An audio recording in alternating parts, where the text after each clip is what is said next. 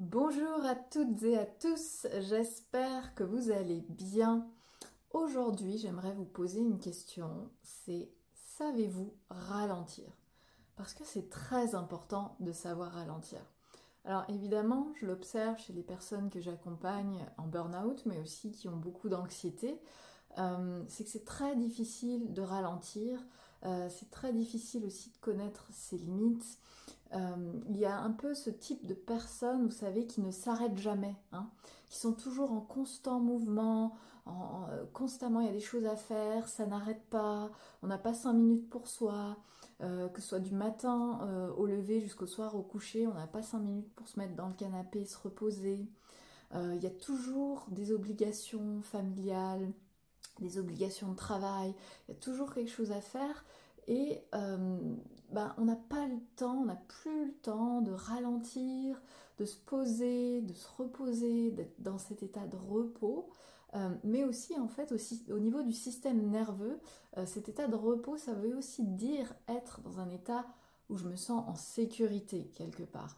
Et quand en fait je suis constamment dans le mouvement, il est fort probable, il y quelque chose qui se passe à l'intérieur, c'est que le système sympathique est, activé euh, et je suis en fait quelque part dans un mode survie en fait. J'ai pas le droit de m'asseoir, j'ai pas le droit de bouger. Hein, souvent il y a aussi des croyances, des injonctions derrière en fait. Pourquoi euh, certains euh, arrivent à prendre du temps, même un week-end, une journée, à laisser un peu les obligations de côté, les mettre au placard, le temps de se reposer, de ralentir, prendre du temps pour soi. Il y a des personnes qui arrivent très bien, et puis, bah, il y en a d'autres, c'est beaucoup plus compliqué. Euh, elles n'arrivent pas en fait à, appuyer sur la pédale de frein, en quelque sorte. Bah, la pédale de frein, c'est notre système parasympathique. Et lui, en fait, il n'arrive plus à freiner parce que le sympathique est tellement élevé. Euh, donc euh, le sympathique, hein, la réaction du stress dans le corps avec cortisol, adrénaline, etc., qui vient nous dire quelque part, je suis en danger. Alors, évidemment, les personnes qui, qui s'arrêtent jamais, elles vont pas vous dire non, non, je me sens en danger. C'est peut-être pour d'autres raisons. Hein. Euh, j'ai envie euh, d'avoir une superbe carrière, bien gérer la famille, bien éduquer mes enfants, etc. Enfin, mais il y a quand même une notion derrière de performance. Et si je performe pas, qu'est-ce qui m'arrive? Comment je vais me sentir en fait? Hein, C'est voilà, il y a, en fait, c'est souvent des choses inconscientes derrière qui jouent, des croyances, des conditionnements inconscients, euh, des injonctions inconscientes, voilà, tant qu'on ne les a pas mises en lumière finalement. Et en fait, notre système sympathique, bah, il s'active, il s'active. Je suis un petit peu dans ce mode survie, j'ai pas le droit de m'arrêter, j'ai pas le droit de lâcher. Il faut que je tienne jusqu'au bout. Euh, et ça, si vous reconnaissez dans ce type de, personnes-là, de comportement-là, attention, apprenez à ralentir, euh, apprenez à prendre du temps pour vous, c'est très très important. En plus là, au moment où je tourne cette vidéo, on entre euh, progressivement, enfin on est aux portes euh, de l'hiver. et c'est typiquement la saison aussi qui nous invite à ralentir parce que si on se reconnecte un petit peu à notre fonctionnement naturel, notamment basé aussi sur la chronobiologie, j'ai fait une vidéo récemment sur la chronobiologie, donc vous pourrez aller euh, la voir.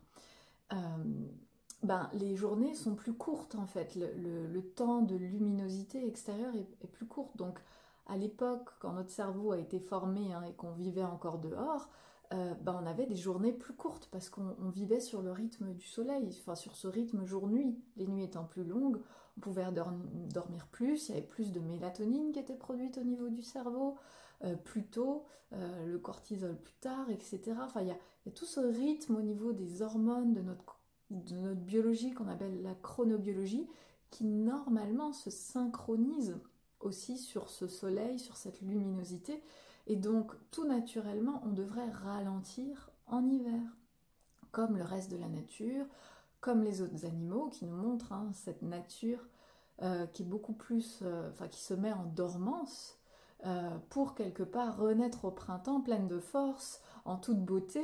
Hein, ben, euh, pour information, il y a aussi des personnes qui ont du mal à renaître au printemps et avoir cette montée d'énergie. Euh, j'entendais d'ailleurs une fois lors d'une conférence en, médecine chinoise un médecin chinois qui disait qu'il y avait beaucoup de burn-out au printemps.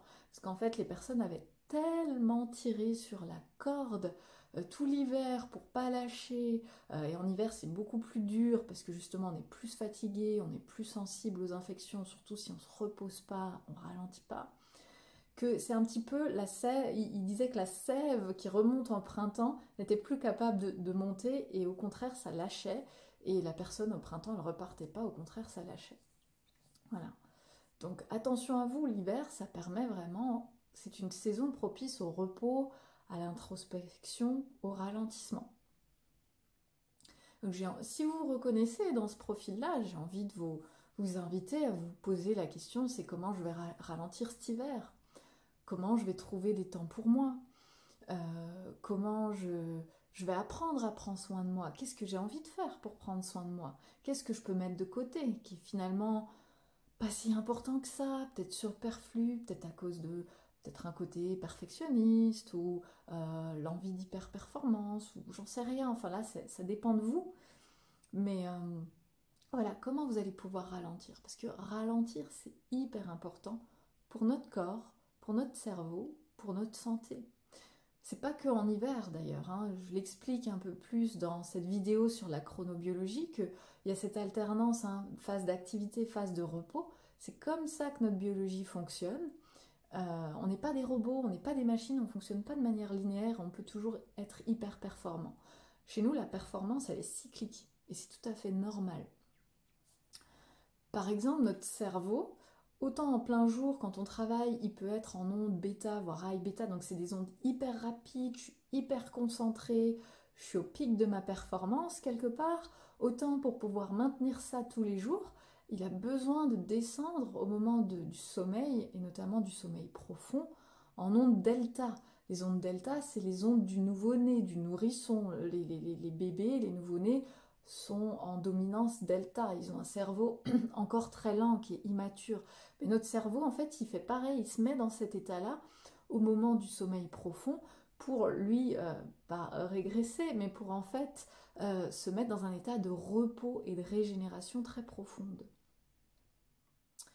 Donc le cerveau a besoin aussi de beaucoup ralentir pour euh, récupérer de tout ce qui s'était passé pendant la journée, euh, réparer peut-être les neurones aussi, l'ADN, nettoyer les toxines, tout ce qui s'y passe, enfin voilà. Et après, hop, la journée, je peux de nouveau remonter dans les tours, je peux mettre de nouveau le moteur à fond. Mais pour faire ça, pour pas casser le moteur, vaut mieux que parfois ça redescende dans les tours. Donc ralentir, c'est essentiel à notre santé, santé physique, santé mentale. Donc vraiment, si c'est difficile pour vous, je, bah, vous invite à vous observer, à, à trouver des moyens de, ralentir, à, mettre en place un certain ralentissement dans votre vie. Et là, l'hiver est vraiment la, saison propice pour ça. En parlant de ralentissement, j'ai aussi quelques nouvelles euh, à vous annoncer, notamment que je vais devoir justement ralentir la fréquence de publication des vidéos sur ma chaîne. Alors c'est un peu à contre-coeur parce que Vraiment, la joie y est, j'adore vous partager, j'adore aussi merci pour ceux qui laissent des commentaires, aussi qui m'envoient des emails pour les retours sur mes vidéos, vraiment ça me fait plaisir et puis ça me donne de la motivation pour continuer à vous partager ici. Euh, j'ai aussi plein d'idées, de choses que j'ai envie de vous partager. J'ai une longue liste qui se rallonge très vite et euh, voilà que j'arrive pas à faire autant de vidéos que j'aimerais. Euh, mais en tout cas, l'envie est là. Mais pour le moment, je vais avoir une période là justement assez chargée jusqu'à janvier 2025. Euh, Donc je vais toujours venir publier, mais ça va être moins fréquent, ça va pas être toutes les semaines parce que je vais pas pouvoir. Et justement, euh, récemment, euh, je publiais sur LinkedIn en disant que ben, renoncer, c'est savoir parfois mieux se préserver en fait. Dire non à quelque chose pour se dire oui à soi. Et là, je vais devoir un petit peu ben, ralentir la fréquence de ces vidéos euh, pour pouvoir me préserver, faire tout ce, qui m'attend là pour les trois prochains mois. Euh, et puis revenir vers vous, nouveau j'espère, avec une fréquence plus régulière. L'année prochaine, j'ai hâte, j'ai plein de choses à vous partager, vous allez voir, j'ai plein d'idées. Voilà, je vais vous laisser aussi avec une dernière, euh, une dernière phrase, en fait une citation que j'ai lue ce matin justement sur LinkedIn de Maxime Chaliot, ou Chaliot, je ne sais pas comment, comment on prononce. Euh, qui, tombe à point et que j'ai envie de vous partager. Euh, la phrase est la suivante.